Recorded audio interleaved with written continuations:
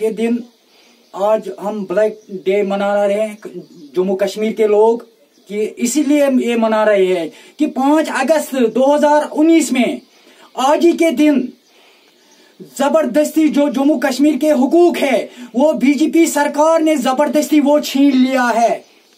इसीलिए आज black day मना रहे हैं जम्मू कश्मीर के लोग।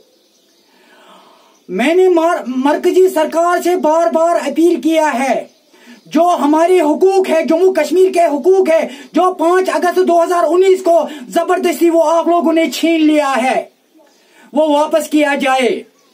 तो मरकजी सरकार टस में मस नहीं है।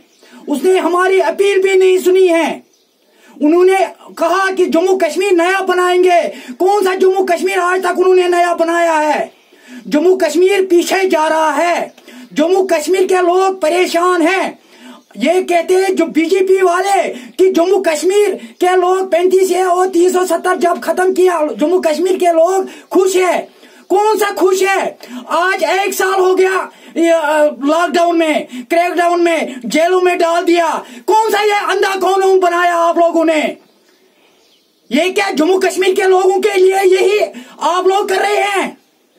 ये लिहाजा करके मैं मरकजी सरकार और खासकर सुप्रीम कोर्ट से अपील करता हूँ, जो आपने, जो ये ज़बरदस्ती हमारा हुकूक पैंतीस ए और तीन सौ सत्तर और हमारा स्टेटस ज़बरदस्ती छीन लिया है।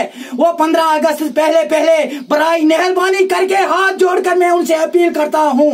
कोई चिंता चिंता की देने की ज़रूरत नहीं है। मैं हाथ जोड़कर उनसे अपील करता हूँ वो पंद्रह अगस्त पहले पहले वो वापस किया जाए।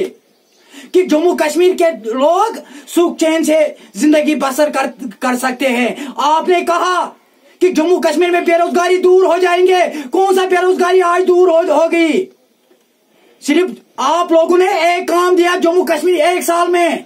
सिर्फ़ एक काम दिया है टिक टॉक और पबजी गेम, वो बच्चों के लिए। इस इससे आज एक साल से हमारे बच्चे तैलीम से महरूम है। कौन सा गना किया है जम्मू कश्मीर के लोगों ने? हमारे घर घर, हम सब लोग यहाँ जम्मू कश्मीर के लोग परेशान हैं। यहाँ के लोग फाका कशी कर रहे हैं।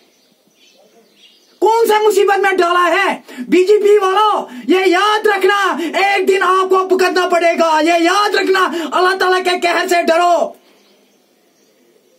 कि आप ये नहीं सोचते हैं कि आप देखो, अल्लाह ताला का कहर चला है पूरे वर्ल्ड में। इस कहर से आप डरो कि जम्मू कश्मीर के लोगों के साथ नाइंसाफी मत करो। जो हमारा हकूक, हमारा स्टेटस वो जल्द से जल्द हमको वापस किया जाए। इसीलिए आज हमने काला दिवस का प्रोग्राम बनाया है।